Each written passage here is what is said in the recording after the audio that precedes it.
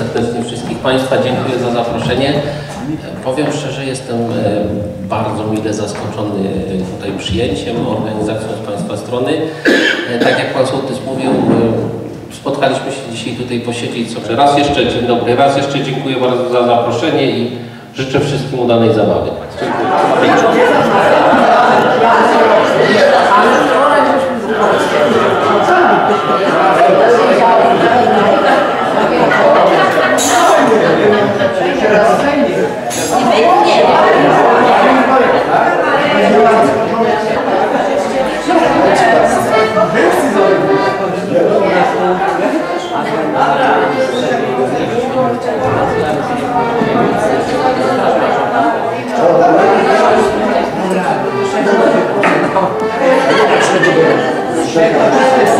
Ja przepraszam, że tak będę odchodził. Ale... O, Jurek, Jurek się zajął. Dobra.